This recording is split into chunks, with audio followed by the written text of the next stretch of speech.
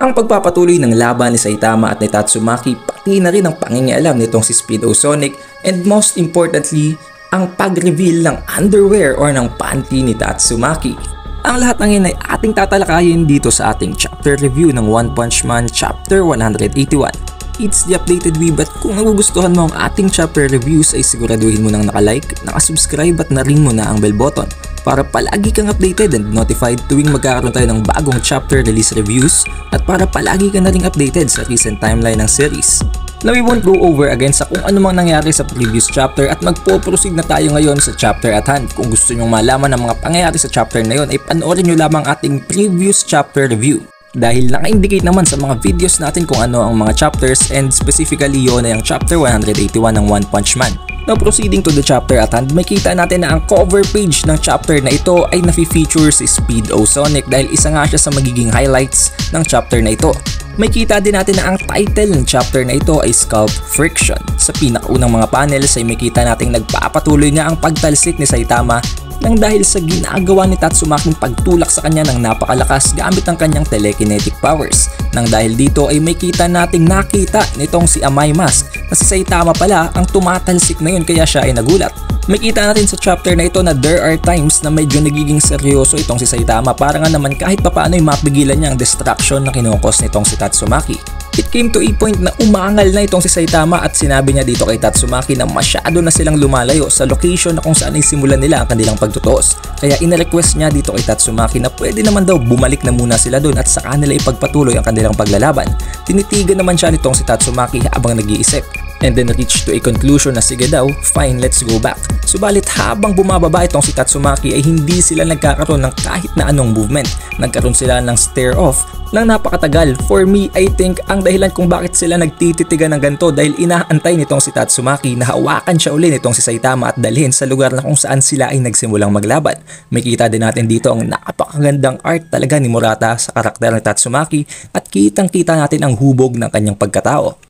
Pero dahil walang kahit na anong konting clue itong si Saitama sa kung anong gustong mangyari nitong si Tatsumaki ay nag-ikot na lamang ito habang humaharap sa kabilang direksyon at sinasabing doon ang direksyon pabalik sa Heroes Association kaya pumunta na sila dahan-dahan bago nila ipagpatuloy ang laban.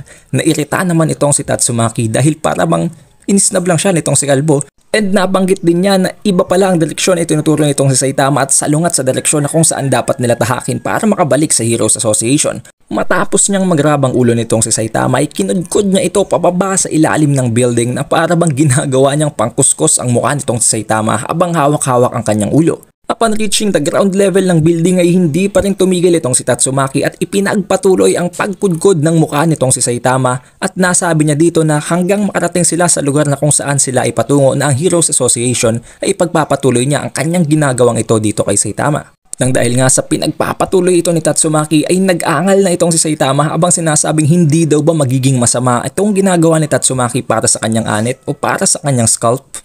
So basing from what's happening as of this moment, marirealize natin and we can comprehend na ito ang dahilan kung bakit nabigyan ng title na Scalp Friction ang chapter na ito dahil para bang magpapatuloy ang kwento sa chapter na ito habang ikinukudkod nitong si Tatsumaki ang mukha nitong si Saitama. Nagpatuloy ang pang-aabusong ginagawa nitong si Tatsumaki dito kay Kalbo. Subalit kung papansinin natin para bang wala namang epekto yun kay Saitama and para bang walang kahit na kunting galos na tinatamo ang kanyang ulo. But then they realize na merong something na para bang humahabol sa kanila. Hindi lamang yung naramdaman nitong si Saitama kundi maging nitong si Tatsumaki. The unusual thing is, Napakabilis ng movement speed ng humahabol sa kanilang kung ano mang ito kaya naisip nila na it is either a hero or isang napakalakas din na monster. Wala pala yung iba kung hindi si Speed o Sonic. Upon seeing and realizing na si Saitama pala ang involved sa nangyayari ngayon, Naisip agad nitong si Speedo Sonic na sundan sila kahit na hindi niya kilala kung sino ang kalaban ni Saitama dahil kung kilala niya si Tatsumaki ay siguradong hindi naman ito magtatangkang mangialam. Agad itinapon nitong si Speedo Sonic ang kanyang mga shurikens na tinatawag niyang Huming Exploding Shuriken. Sa pamamagitan ng mga shuriken na ito ay nagkakaroon nito ng parabang huming effect na talagang hinahabol ang kung anumang target na kanyang pinatatamaan. Seeing the incredible speed ng mga shurikens na ito na binitawan ni Speed o Sonic, naisip agad nitong si Tatsumaki na hindi nila kakayaning i-outrun or hindi nila kakayaning iwanan ang mga shuriken na ito sa pamamagitan lamang ng bilis. Kaya hindi na nag-alangan itong si Tatsumaki at agad na ginamit ang kanyang telekinetic powers para kontrolin ang mga homing missile shurikens na ito. But again, as you can see, napakaganda na naman ang art para sa paddle na ito hindi lamang dahil sa mga shurikens at sa paggamit nitong si Tatsumaki ng kanyang telekinetic powers kundi pati na rin ang pinakakarakter lamang ni Tatsumaki. Matapos kontrolin nitong si Tatsumaki ang mga homing shurikens ay ipinabalik niya ito dito kay Speedo Sonic na para bang ibinalik niya lamang ang ataking ginawa ni Speedo Sonic. Nagulat naman si Speedo Sonic dahil hindi niya alam kung anong klaseng abilidad ang ginamit nila para maibalik sa kanya ang homing shurikens dahil right from the start ay hindi naman nga niya kilala kung sino ba si Tatsumaki na ang Tornado of Terror. But anyways, knowing Sonic, alam naman natin na ang pinaka-forte ng karakter na ito ay nagdedepende sa kanyang speed. Kaya kahit na napakabilis ng mga homing shurikens na yun ay kayang-kaya nyo yung iwasan easily. Subalit habang nag-iisip itong si Sonic ng gagawin niyang counter-attack para maiwasan ang mga shurikens at para makapag-launch na naman ng panibagong attack dito kay Saitama ay biglang may tumain na aso malapit sa kanyang tabi at ang taing yun ay naapakan nitong si Sonic dahil dito ay nawala ang kanyang footing at siya ay nadulas kaya siya ay tinamaan at inaabot ng mga explosion na nagmumula sa kanyang homing shurikens. Habang unti-unting tinatamaan ng pagsabog itong si Sonic ay sumisigaw siya at minumura niya itong si Saitama na para bang halos lahat ng nangyari ngayon ay isinisisi niya dito kay Kalbo Although wala naman talaga actually ginagawa itong si Saitama kung hindi ang hayaan lamang itong si Tatsumaki na idrag siya around. But then when Saitama realized na finally nandito na uli sila sa Heroes Association, ay agad siyang tumikal sa pagkakahawak sa kanya ni Tatsumaki as if kayang-kaya naman talaga niyang kumawala at any moment. It's just hinayaan niya si Tatsumaki na idrag siya hanggang sa makarating sila dito para maiwasan na nila ang komosyon sa iba pang lugar. Nagulat naman itong si Tatsumaki dahil dito niya na-realize na kayang-kaya namang kumawala pala nitong si Saitama and it's just ginusto niya lamang na maidrag siya around para makarating talaga sila dito sa location na ito. Sinabi naman agad ni Saitama na simulan na daw uli nitong si Tatsumaki ang kanyang pag-rampage dahil tulad nga ng sinabi niya previously sa mga nagdaan pang chapter ay plano niyang pagudin itong si Tatsumaki hanggang sa tumigil na ito.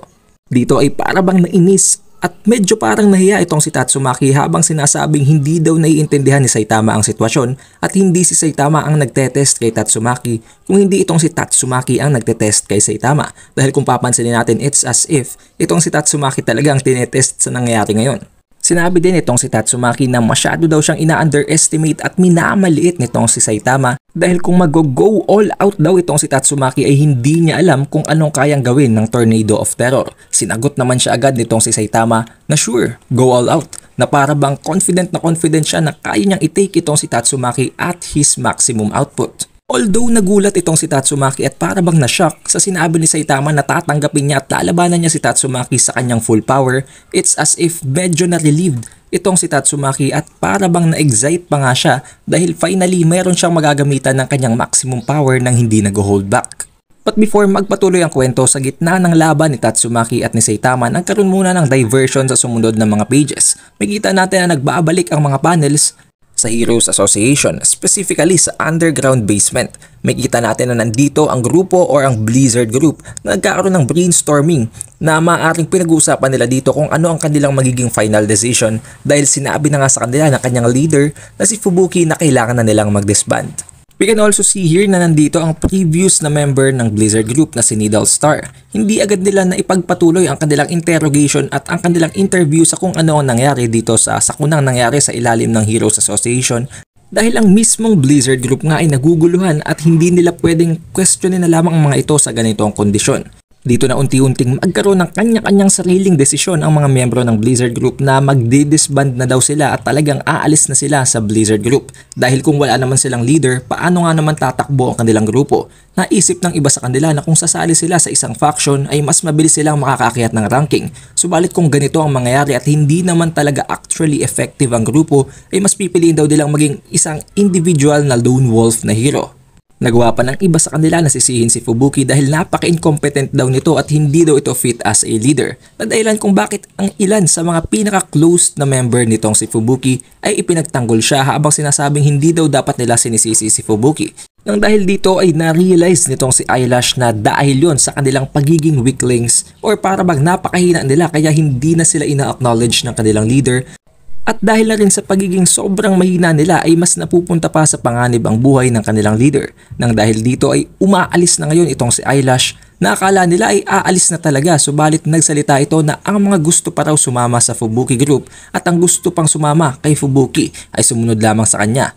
Kaya naman ang mga pinaka-closed friends nitong si Fubuki ay nag-agree at sumama sa kanya. May kita naman natin dito na si Needle Star na nagbabalak sanang I-interview sila at questionin nang dahil sa nangyaring sa Kunanga ay hindi na sila napigilan dahil unti-unti na silang umaalis para habulin ng kanilang leader.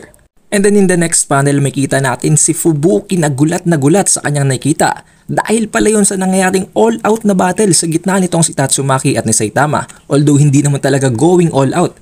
Itong si Saitama still kung papansinin natin ang panel para bang nagkakaroon na ng isang all-out war ng dahil lamang sa dalawang karakter na ito at dahil ngayon sa wala ng iba pa kung hindi si Tatsumaki na ang Tornado of Terror. May kita natin na ang dilubyong ito ay para bang ang dilubyo na ikinos din nitong si Tatsumaki nang maglaban sila ni Psychos. Kahit na it is certainly different to some degree still kung papansin natin ang nangyayari sa laban na ito, it is still quite disastrous.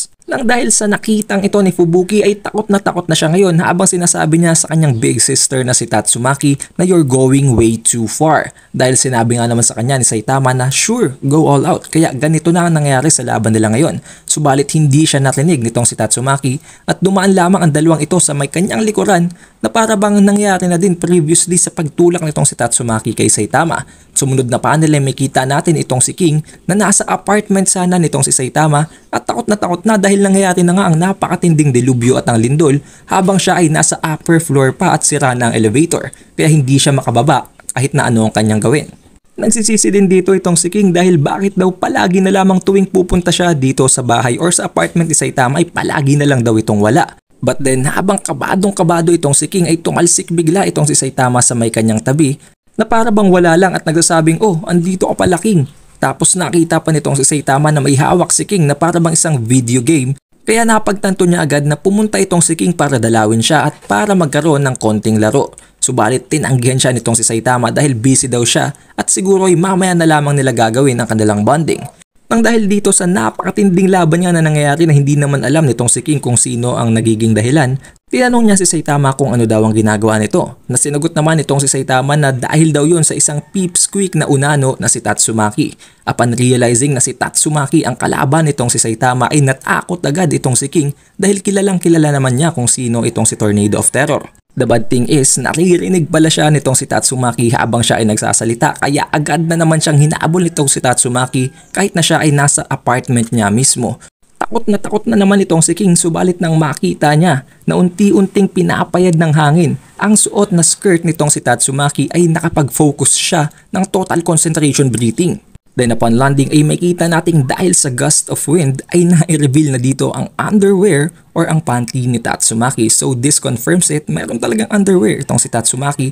And it's just hindi lamang yung nakita natin sa mga perspective na binibigay ng author and napakamaganda lang talaga ang pagkakahubog at ang lapat sa kanya ng kanyang suot na dress. Kung papansinin din natin sa panel na ito, it's as if medyo kinartonized or medyo comedic ang design ng panel. Para nga naman hindi masyadong malaswa ang dating nito sa mga readers.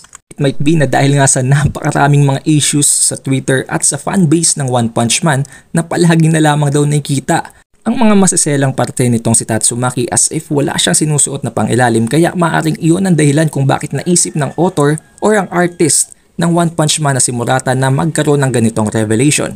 Sa pagpapatuloy ng chapter ay makita nating hinahabol pa rin itong si Tatsumaki itong si Saitama habang si Saitama naman ay bumabalik pa rin sa open space para nga naman maiwasan ang mas marami pang damage sa Heroes Association.